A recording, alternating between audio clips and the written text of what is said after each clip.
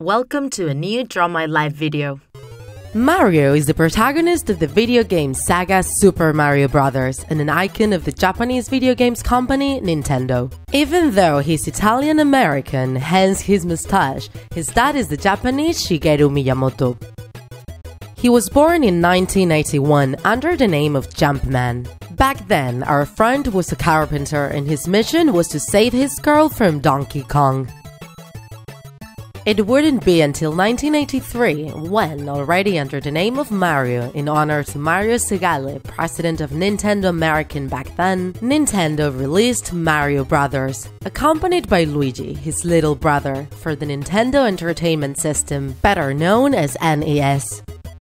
Mario's story starts when baby Mario and baby Luigi were flying towards their parents' house with the stork. But Kamek, Bowser's vassal, the everlasting and evil villain, fearing that the Star Children would ruin the Koopa's troop plans, kidnapped Luigi and let Mario fall on the Yoshi Island. When the Koopas realized one baby was missing, they tried to kidnap baby Mario. With the help of the Yoshis, Baby Mario managed to defeat Kamek and the leader of the troop, Baby Bowser. They rescue baby Luigi and the store, who takes them to their parents in Brooklyn, New York. But poor them, they didn't know their kids were star children. Years go by and Mario becomes a headache to his family. He was very naughty at home. When he was seven, Mario grew a big mustache. A little later, Mario and his brother get a degree from the Plumbers Academy with the highest grades among the graduates in their class. Mario decides to start with Luigi's help the plumbing company Mario Brothers Plumbers. During their repair of a bathtub, both brothers were accidentally absorbed by a pipe which took them to the Mushroom Kingdom. From cleaning pipes to rescuing the princess of the kingdom, Peach. Our favorite plumbers will bring peace back to the Mushroom Kingdom and will save it from the claws of Bowser and his followers always advised by Toad and held by Yoshi. But Bowser is very elusive and our Princess Peach is always in trouble.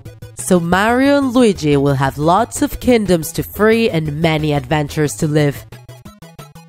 They will save more young ladies in trouble and will defeat more villains, thanks to the power of the mushrooms, which will give Mario a second chance apart from other qualities. We also have the stars, which will turn Mario into Super Mario and a lot more transformations. Raccoon Mario and the evolution to Mario Tanuki, Fire Mario, Frog Mario, and many others.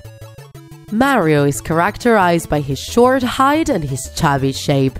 Of course, without forgetting about his characteristic mustache. As any good plumber, he wears blue overalls and a red t-shirt. He also wears a red cap with his name's initial printed on it. Sometimes he wears red overalls and a brown t-shirt instead. The idea of the cap was born because it was difficult for graphic designers at that time to animate Mario's hair when he jumped. And same thing with the mustache. It was easier than drawing a smiley face. His brother Luigi also follows the same style, varying the color, green, his height, and his weight. Mario loves pizza and pasta so much that he even dreams about them. Mario is a kind character of a noble heart. He loves his brother Luigi so much. He also shares some feelings with Princess Peach, but they only love each other as friends. Information that would need to be confirmed though. He loves adventures. He's humble, calm, and a good natured person.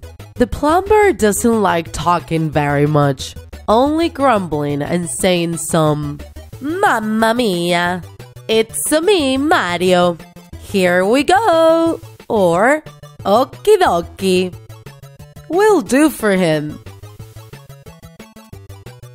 From the 90s, Mario competes against Sonic, the mascot of Sega, Nintendo's main rival. During more than a decade, both have developed different games with Mario and Sonic as protagonists, trying to surpass the other. But in 2002, this rivalry came to an end. Due to a partnership between Sega and Nintendo, Sonic became one of the characters in Mario's games. He became, therefore, an ally and friendly competitor. But if we want to talk about rivalry, we have to mention Wario, our Mario's dark side. He is his complete opposite selfish, greedy, manipulative, and evil. Wario has always envied Mario because of his fame.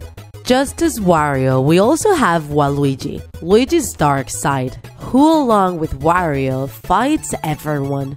They even fight against Bowser. Mario has had several jobs. Doctor, demolition worker, boxing referee, painter, archaeologist, sportsman, runner, just as many jobs as games released by Nintendo. This unstoppable hero has been entertaining the whole world for 30 years, and we hope he keeps doing it for another 30 years at least. Come on, Mario!